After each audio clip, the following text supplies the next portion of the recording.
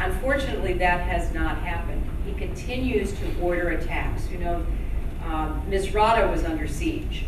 Uh, and really, the, the opposition fighters inside Misrata withstood an enormous uh, deluge of brutal attacks, uh, not just from the outside in, but you know, placing uh, tanks and other equipment inside Misrata.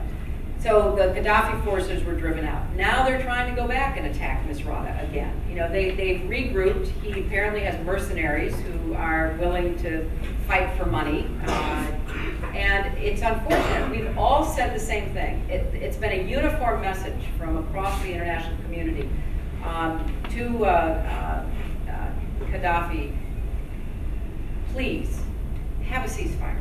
Quit attacking your own people. Tell those who are fighting for you to return to their barracks. Let's stop the fighting and begin the political and economic uh, transition.